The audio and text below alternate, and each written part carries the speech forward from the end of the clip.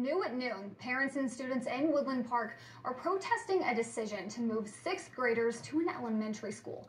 The controversy comes one day after nearly 30 teachers called out sick. KRDO News Channel 13's Jessica Grunling joins us live from Woodland Park Middle School to explain how the district is responding to these protests. Jessica.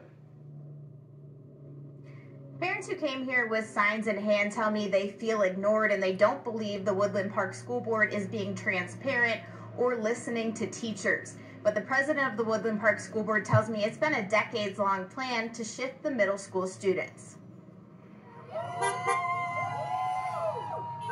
I'm a alumni, my whole family's gone through this district.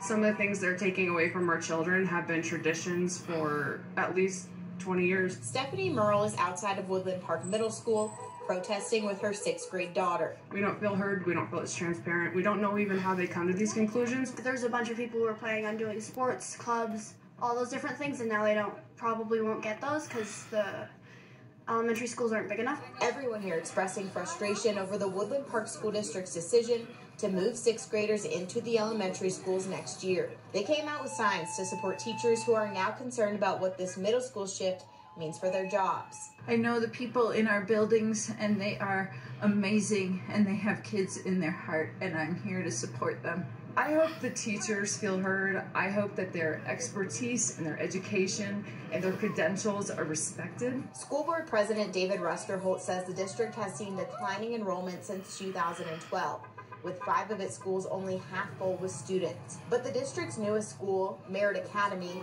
which shares a building with the middle school, keeps growing. The school board vice president David Illingworth refutes claims that it wasn't transparent about the process. That there was a survey sent out to parents. Um, this has been consulted with our various school leaders, our principals, and things like that. There was a feasibility study done with a third party that was hired by the previous superintendent um, that was done last year and was discussed as part of the uh, question about moving Merit Academy into the middle schools. Interim, interim Superintendent Ken Witt says the middle school shift is the best educational outcome for students, but he says the opinions of protesters out here today isn't the same sentiment from the community. Reporting live in Woodland Park, Jessica Grunling, KRDO News Channel 13. Thank you, Jessica. A shaky start to